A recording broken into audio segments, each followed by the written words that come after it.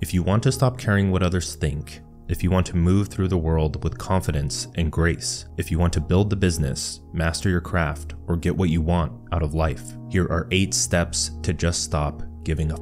We're going to go over the three pillars of self confidence so you can stop caring fast, why you care so much in the first place so you have the awareness to stop, how to reprogram your mind to become who you were meant to be, why you are probably on a life path that has a 100% failure rate, and how to escape, how to develop your own internal compass and find what you want in life, the passion process for discovering your interests and turning improvement into obsession, a tool to accelerate changing your life, and last, the nature of reality and how it can help you become more intelligent so you stop worrying about minor inconveniences. Now, I don't want this to turn into some superficial band aid of step by step advice that you can find anywhere online. I want you to solve this problem for good, but in order to solve a problem for good, you need time and awareness of the problems that come up as you start solving the problem or once you solve the problem. As an example, in terms of the problem of caring too much about what people think, you're not going to target the right problem the first time around. You're going to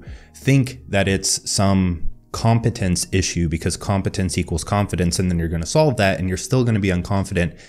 And at that point you need to become aware of the problems that allow you to truly solve the problem. So this isn't a quick fix. You probably aren't going to stop caring about what other people think by the end of this video. And that's okay. You're going to be armed with the tools and awareness that i give you in this video so that you can eventually solve the problem for yourself because again, this isn't a band aid. You aren't just solving it all at once. It takes cultivation. Mastering your mind is a massive undertaking, and that's what it takes to genuinely stop caring. And to start mastering our mind, that's going to require us to go very deep in this video. But before we begin, I have a subtle reminder. We've been building Kortex for a little over a year and a half now. I'll go over that story another time, but for now, we are actually starting to roll out access to the waitlist. So this is a form of a soft launch. We aren't launching to the public yet. You have to be on the waitlist and we will slowly roll it out to you as we get through this month. So you've been hearing me talk about it for so long now, and you can finally get access. And I'm super excited, and it's really coming together nicely. I've been using it for the past nine months or since whenever I've had the base version of the app. I use it to write all of my content. I use it to create all of my YouTube videos, not actually like film them, but ideate them. I use it for all of my ideas, my captures, my, it's just my second brain. And to get your mouth watering a bit, Taylin Simmons, a rather large creator, said it was like Notion, Obsidian, and Google Docs had a baby. And I would personally go as far to say uh, it also combines Apple Notes and Todoist or your to do app. Not completely, not all the features are there yet, but you can visit our public roadmap in our free community to see everything that we have planned for it. The reason I'm actually promoting this in this video is because not caring what others think is a byproduct of writing and cultivating your ideas and getting your mind into a second brain so you don't have those ideas to actually worry about. So, if you want a place to capture all of your ideas without having one messy note where you lose them all, store your highlights from Kindle, web pages, PDFs, tweets, and anything that integrates with Readwise for now until we develop our own reader and ways of web clipping. Having an interconnected second brain that breeds articulate and unique writing. So, if you're a creator and you want to create deeper videos, this is for you write landing pages, social posts, video scripts, or any of your creative projects. And since this is a rather large and could be complex app, we have a free community and a free second brain course that you can take. I put a lot of time into actually building out that process myself. So you can join the Kortex waitlist for now until it's truly available to the public with the link in the description, or you can even just join the community right now and take the second brain course without even going or downloading Kortex. Thank you for listening to my self sponsorship. Back to the video. The first thing that we're going to talk about is the three pillars of self confidence. Because if you care too much about what other people think or you give too much of a fuck, that's a self confidence issue. The first step to not giving is understanding the big picture of self confidence, not just some shallow advice. If self confidence were as simple as watching a YouTube video on confidence, we would live in a utopia. There is something much deeper going on, and I hope I can make you aware of it in this video. Lack of confidence is the one thing that plagues the potential of the majority of the population. They care too much about what others think. So let's say you want to start a business and the negative thoughts start rolling in. What will my parents think? What will my friends think? What will my spouse think? Will it be enough to replace my income? How long will it take? Don't even get me started on the thoughts that come when you actually start building the business. The reason people fail is because they can't lift the emotional weights required to achieve the goals they set. What I mean by that is certain goals require a certain level of mind or a certain expansion or development of your mind. When you're learning skills and you're practicing things, you're effectively expanding the complexity of your mind. And so the reason you aren't where you want to be in life is because you just aren't the person with the mind that would be able to achieve that goal. So, with all of these thoughts in our head, the 60 to 80,000 thoughts we have in a day that just splinter off into even more and make us stress about the future, how do we begin to cultivate the trust in ourselves that starts to lead to self confidence? So, the first pillar is perspective. When you enter a situation where you don't feel confident, anxiety shoots through the roof. This closes your mind to everything but your thoughts. They multiply. You completely retract from the situation and become a slave to your past. The experiences you've had before, but probably aren't experiencing right now, you are just pulling your past experiences into the current situation and then it becomes bad. My girlfriend, as an example, is trying to become a Pilates instructor and open her own studio and all of this amazing stuff. But she told me yesterday that she used to hate doing one specific exercise, the teaser, because it was extremely hard for her. She didn't want to go and practice it. But then once she started to get it, she held the position for like half a second. And now she loves doing the exercise. So I'm not saying that you can necessarily change your perspective of a situation to begin with, but you do kind of have to push through some pain until you make that slight bit of progress that helps you shift your perspective so that you can start to enjoy going into those situations. It's the same with anything self confidence in the gym. You hate going to the gym until you actually feel like you're getting stronger and then you just can't stop going. So, to practice this, when you enter a situation and anxiety sparks, pause, zoom out to see the situation for what it is. It's just a normal situation. And then transfer consciousness to those in the situation with you. Transferring consciousness is adopting another person's perspective. Because the thing here is that most people are just people, right? We create these images of people in our heads like, oh, that guy's super confident and I'm not on his level. So I feel anxious right now. But when you think of it, like they're not thinking that. Billionaires are people with the same problems. Fitness models are people with the same problems. All of these shiny and standout people and public figures are just normal people, but they have a different public perception. And when you talk to them, I'm not discounting other people's problems. I'm not trying to discount your problems here. I'm just saying that these people suffer as much as other people do. A billionaire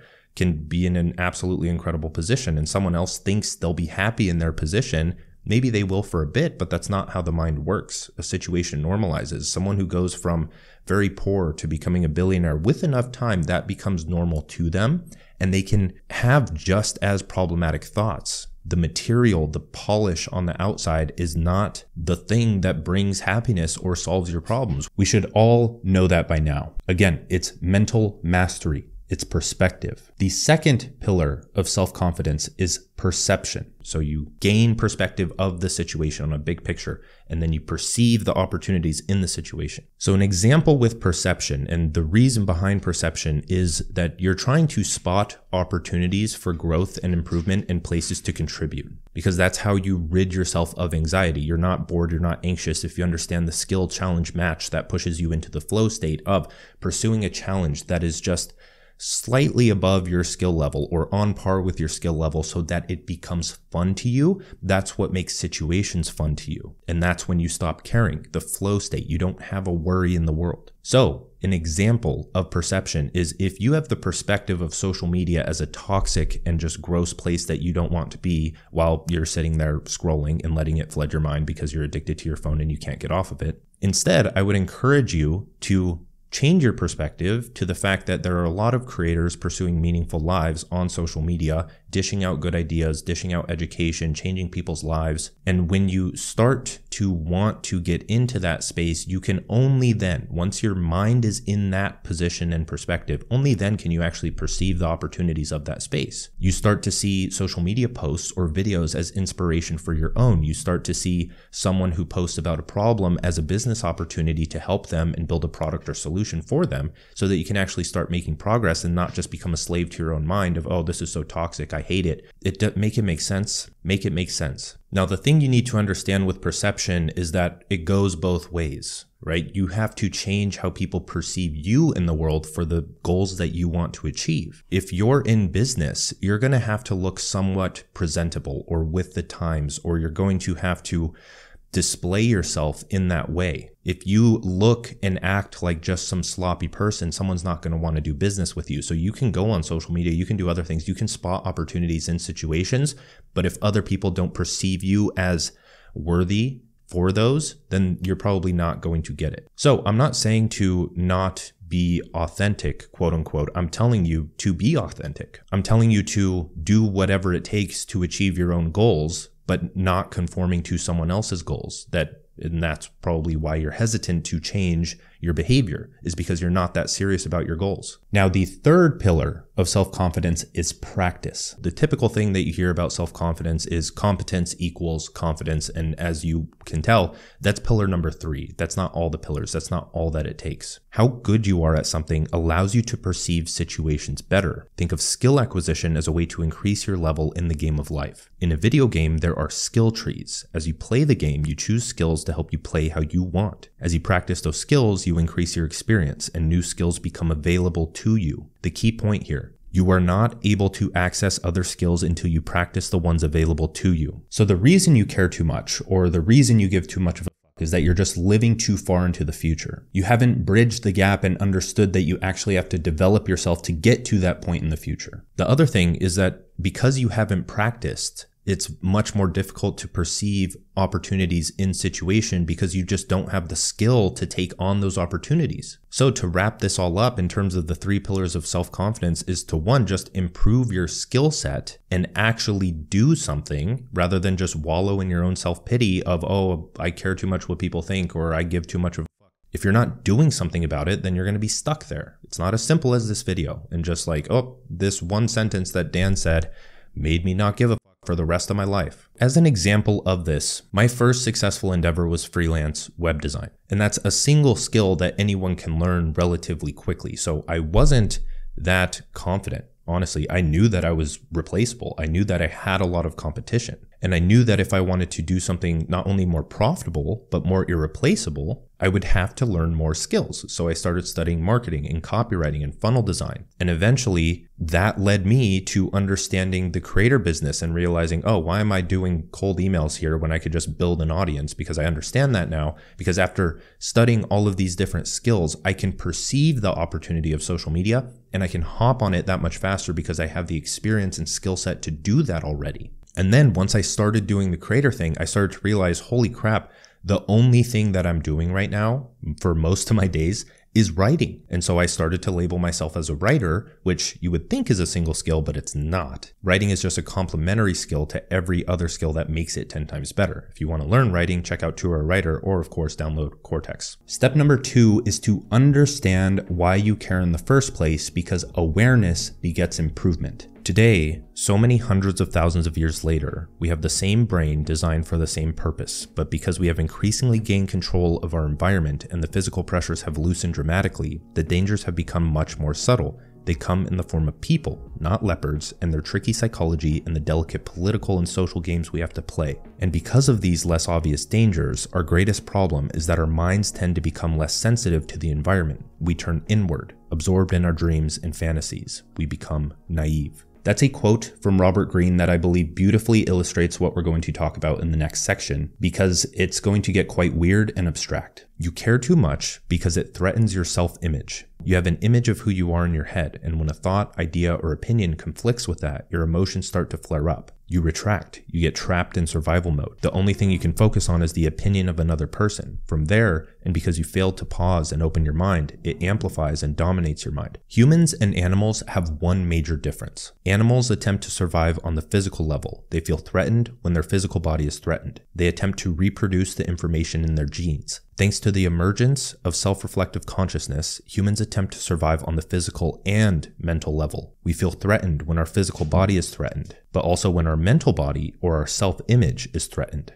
We attempt to reproduce the information in our genes, but also the information in our consciousness. We write books, communicate, text each other, and choose political sides so that the web of ideas that we identify with survives beyond our death. Ideas are mental sperm. By reading a book, the author is mentally impregnating you. Your self image is the child of all of the ideas you've been exposed to your entire life. Artists attain immortality when their ideas become immortal, like how we reference Plato and Aristotle long after their physical bodies are gone. In a future video, I want to talk about this a lot because I want to talk more about writing and the creator economy and personal brands, but I need to create a video on how to set yourself apart by the depth of your ideas and how to kind of make yourself immortal in this sense.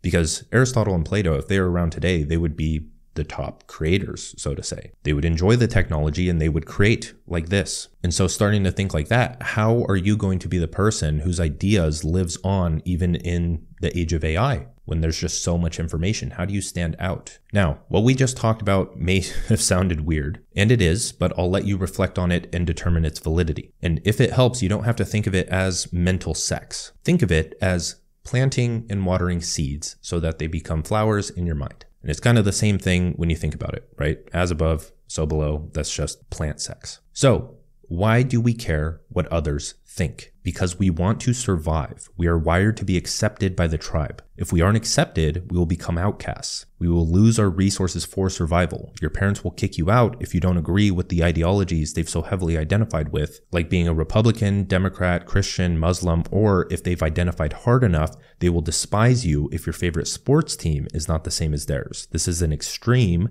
but quite possible case. Your beliefs go to battle with your parents' beliefs, and they will do whatever it takes to survive. The psychological feeling of you questioning their beliefs is on par with them being stabbed physically. And if they aren't a developed person, they'll stab you back by kicking you out of the house and you'll feel that pain because now your physical body is at stake. Now, the thing here is that in a lot of cases, it makes sense to care what other people think because by then you're playing a strategic survival game. You're trying to survive. But if you've been here long enough, you understand that I believe one of our purposes in life is to transcend our survival. I'm actually writing about this in the new book I'm writing, and I'm illustrating it as levels of purpose. And the first purpose that you have to actualize is your survival purpose. You have to transcend your survival so that you can think bigger, open your mind, and start to think about creative work or contributing to others, or even care about starting a business or spirituality or any of that. In other words, you have to develop the skills and you have to solve the problems in your life in the health, wealth, relationships domains that allow you to transcend your survival and become somewhat independent or autonomous. But the thing here is in 95% of most of modern cases,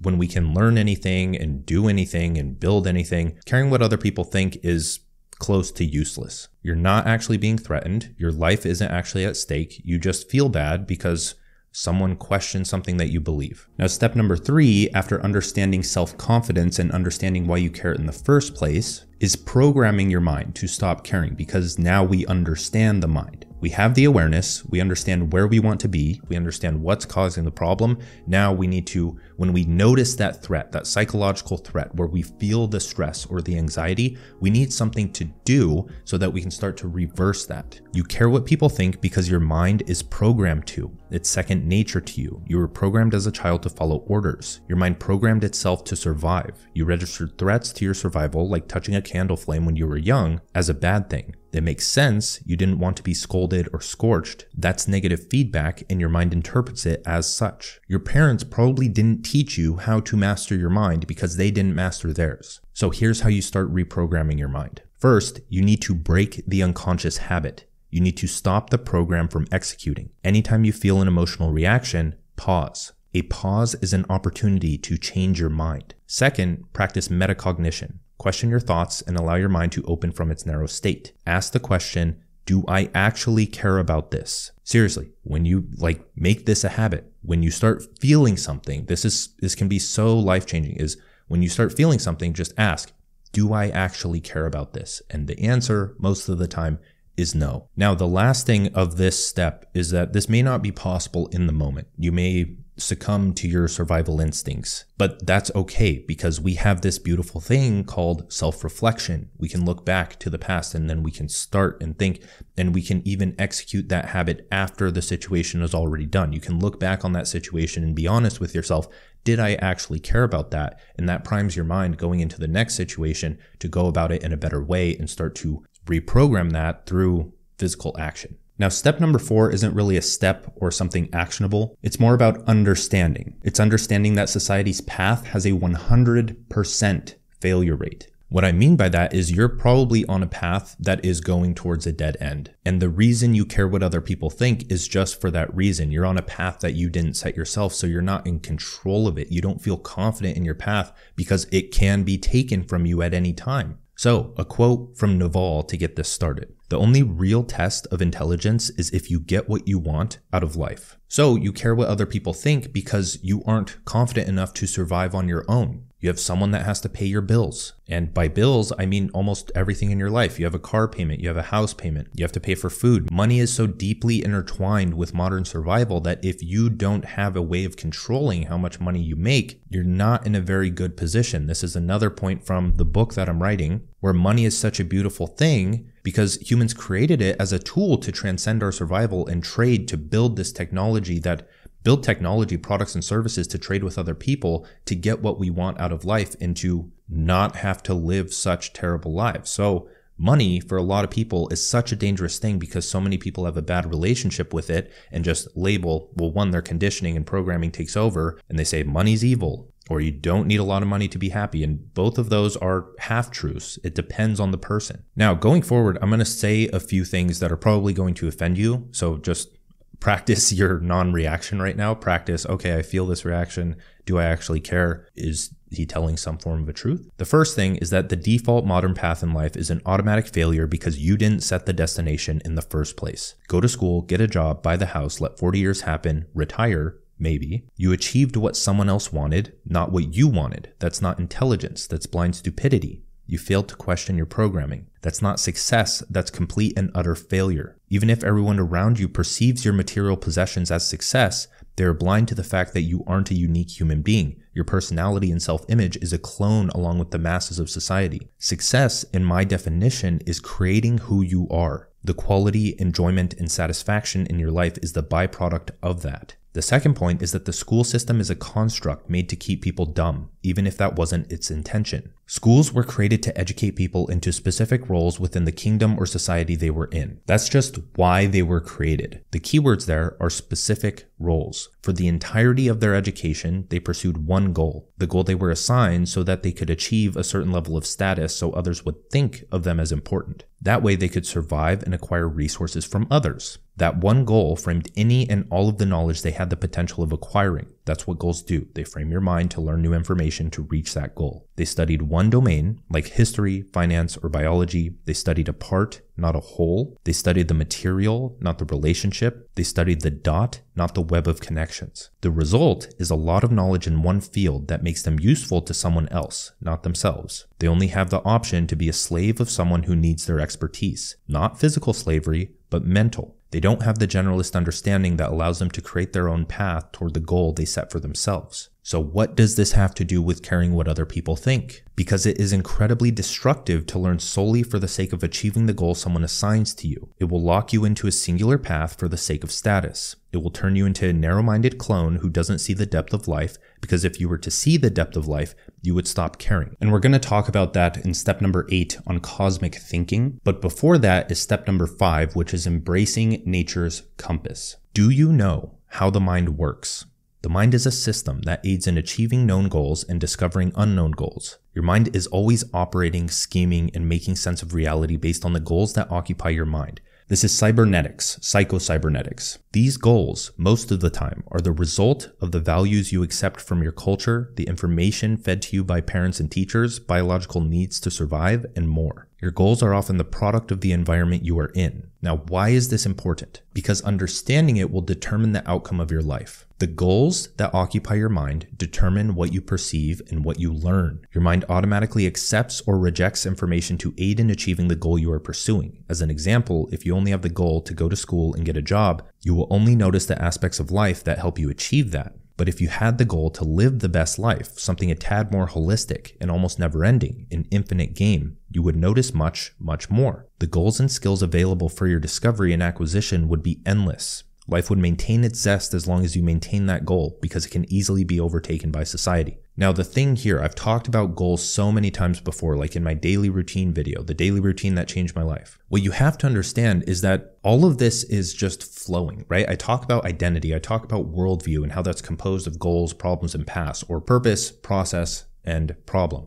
That's your mind. That's how you perceive and operate in the world. But those things change. You can go up and down levels of depth. You can be in survival mode and be focused on that narrow goal. But the whole intention with this and with spirituality, maybe in a certain perspective, is opening your mind to consistently occupy higher states or higher levels of thinking and goals so that you can notice more of life and achieve more in it. Maybe not achieve more in it, although that will be a byproduct, but appreciate more of it. So the point here, you care what others think because you aren't in your own little world. You aren't consumed by your vision, mission, and the goals that comprise them to the point where distraction is impossible. Since goals frame how you perceive the world and therefore determine the opportunities available to you, the default path society set you on and any shred of its existence in your head is detrimental to your quality of life. Question everything you know, revolt against society, and find out what's true for yourself. Pay close attention to every single one of your thoughts and actions. Ask,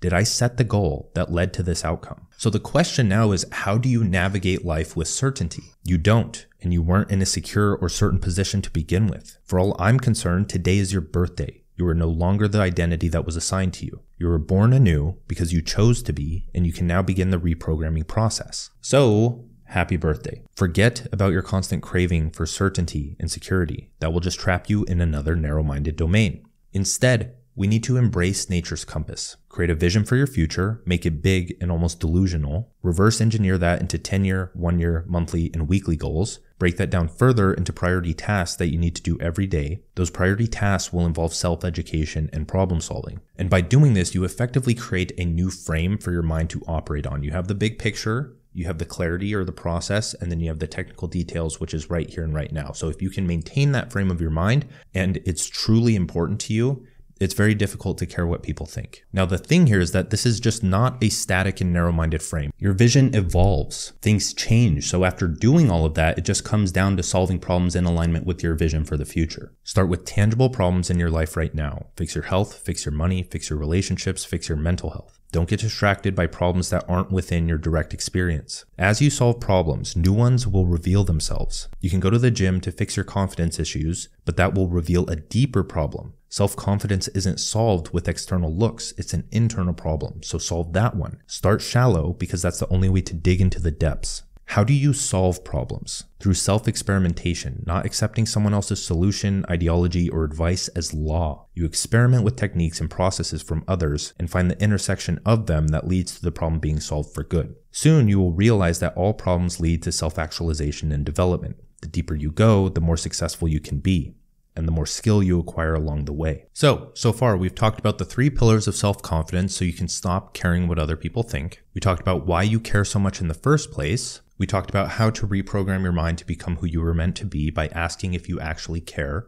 And we talked about why you're probably on a path in life that has a 100% failure rate. And we just talked about nature's compass or developing your own internal compass for identifying and solving problems by having a vision for the future and aligning all of your actions for that. So next, we need to quickly go over the passion process. We need to understand passion because it's extremely unfortunate that the word passion has become a bastardized version of its former self. The internet is flooded with headlines and marketing angles screaming that passion is useless, that you don't need to find it, or that you should do something else instead. But I believe passion is a great worthy, and descriptive word. You can feel passion in your bones. And if you don't live a passionate life, what's the only other option? When you're passionate about something, you don't care what people think. You'll study it all on your own. It will be your escape. You'll have friends on a social level, but you'll be perfectly happy with your loneliness on an intellectual level because the topic itself is like your friend. At the same time, when you find the select few people that can match you on that intellectual level and have those deep conversations with you in a passionate way, that's irreplaceable. And very few people experience that in this life. So, how do you discover your passion? First, passion is when improvement turns into obsession. Passion is the process of trying everything and discovering the one thing you can't pull yourself away from. Passion is not found from where you are now. It's discovered on the path of where you're going. Those are your guidelines. As you are solving problems toward your vision, experimenting with potential techniques and solutions you find through self education, keep a steady eye out for signs of passion. Learning new information will become a hobby instead of a chore. Building a business will feel like playing with Legos as a child. The art of living is getting paid to play. We're going to talk about that in a future video. Now, step number seven is to write more because me being me, I can't help but include writing as a very important skill in almost every video I create because I have a two hour writer course, I have Kortex, I have all of these products based around writing. So technically, that's my way of selling you on those things. But at the same time, I could go and sell anything else, right? I chose writing for a reason, and that's because it's deeply impacted my life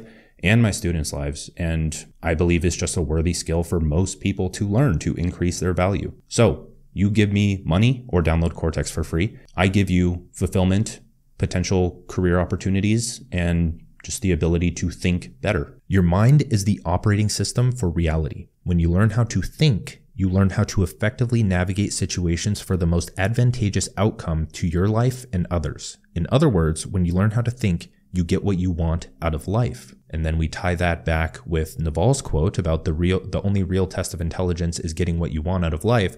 So, the way to get what you want out of life is to learn how to think. How do you get better at thinking? By treating your thoughts and ideas as Legos. You aren't an intelligent thinker because the thoughts and ideas that compose your thinking are a jumbled mess. You aren't able to see them in their individual states and reorganize them. That's why we help with Kortex.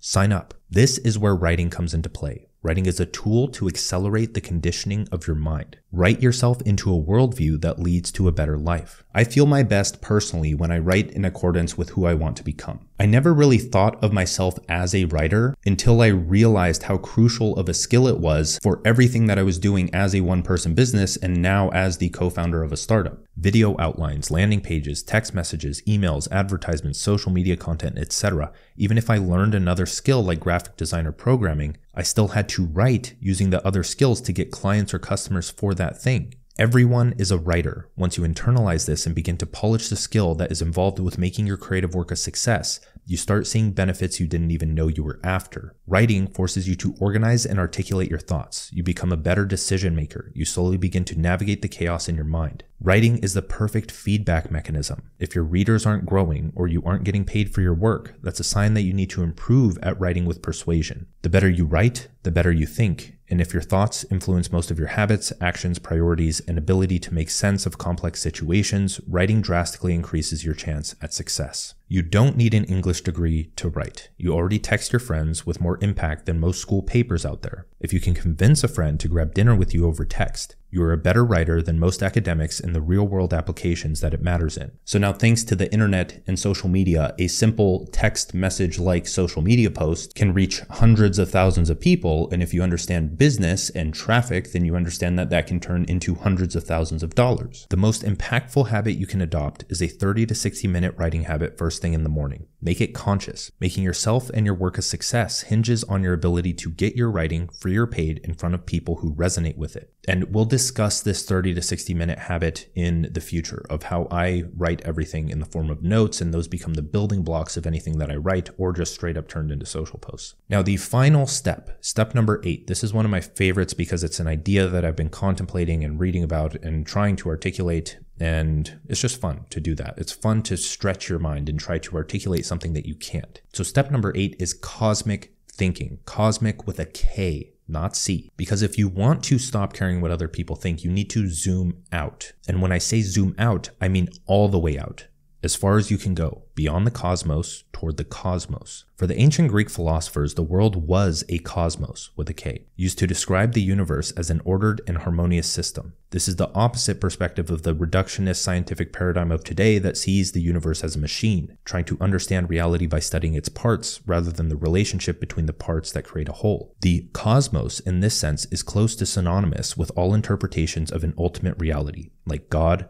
Brahman, the infinite, source, Teotl in Aztec philosophy, and the rest implied by religious leaders and mystic masters. For the Greeks, when thinking in parts and wholes, the parts each served a purpose toward the harmony of the universe. So that's one thing there is that you may care what people think or you may feel out of place and wrapping in the other lesson of being on society's path because you don't feel as if you serve a purpose as a part in the whole that you are within. So if you understand Ken Wilber's philosophy, and I think it's his name is Arthur Koestler, not too sure, the one who coined the term holon, which is the fabric of reality or the building block of reality. A holon is both a whole and a part at the same time. So we're talking the building blocks of reality. We're talking cell to molecule to organism. We're talking word to sentence to paragraph to book. We're talking me to this room to this apartment complex to all the way to the universe interconnected with everything else. Because at the same time, me connected to you via YouTube as the whole, everything's connected, right? That's the gist of it. So you don't have a purpose as a part within the whole of whatever it is, whether it's the grand purpose of the universe or just the grand purpose of your community or the purpose of the community you serve online. Because the internet, in my eyes, is the great unifier. It's not the great separator of like with toxicity and such. I believe it has a lot of potential. Now, other philosophers like Alan Watts talk about the world as an organism, a functioning ecosystem bound by relationship. Aristotle believed that the final cause of a thing is its function, and that a full explanation of anything must consider its final cause. So this presents the field of teleology and cybernetics that we talked about earlier, about how your goals frame how you act and who you are. Humans are goal oriented creatures. You always have a goal, but when that goal is assigned to you and you remain unconscious of it, you care what others think and it slowly destroys your life. By aligning with the purpose of your highest self and the purpose of the cosmos itself, life makes a lot more sense and you can begin to navigate it with grace. When it comes to not giving a fuck about a situation, you care what people think because you can't see the big picture. You can't see the ecosystem you are operating in. You don't understand your purpose, the purpose of those in the situation, and how both of those goals aren't in alignment. So, of course, course, there will be mental conflict. So, to take what we learned earlier just one step further of pausing and asking yourself whether or not you actually care, start to use this cosmic thinking or this systems thinking where when you notice the one thing, the reaction, you're stuck in a part. You can't see the whole because if you could see the whole, then you would be able to navigate that situation a lot better. So that's one thing you can practice doing is when you're in the situation, when you're angry about something, a thought, emotion, someone something someone said, zoom out to the whole. What's the next layer? It's the situation. See their perspective. See or or start to make connections between other situations that have happened similar to that and how the outcome of those ended up or how the goal ended up of those. And then even further, if you want to remove that tension even more, zoom out even further to the context of other people or the perspective of other people. Why are you caring so much about someone who cut you off in traffic when there's children starving on the other side of the earth? Your worries don't really mean much from that perspective. So you worry about things because you can't think holistically. And the reason I like calling it cosmic thinking rather than systems thinking is because to me, it comes off with more of that like magic or that spirituality in it, the the ancient Greek vibe. I just like that more. And I feel like it like romanticizes life a bit more for you. Cosmic thinking is about letting go, expanding your mind to observe the situation from a higher paradigm agnostic lens, understanding the purpose of the whole and its parts, yourself included, and navigating yourself toward a decision that is conducive to clarity in your mind and progress in your life toward that higher purpose. So again, when you feel yourself becoming tense and reactive, pause, zoom out, See the situation for what it is. If you can't control it, let it go. Find the connections that lead to order. Thank you for watching. I'm sure that was a pretty long video. So thank you for your time and attention. But while you're here, please sign up for Kortex. At least try it out, test it. Of course, it's waitlisted right now, but once you get the email to get access, then test it out and let me know. Now, if you want even more, you can now, if you want even more, there's Two Hour Writer to learn high impact digital writing. There's digital economics to turn yourself into a business. There's mental monetization to escape client work and build a digital product. Like, subscribe, do all that fun stuff. Thank you for watching again. Bye.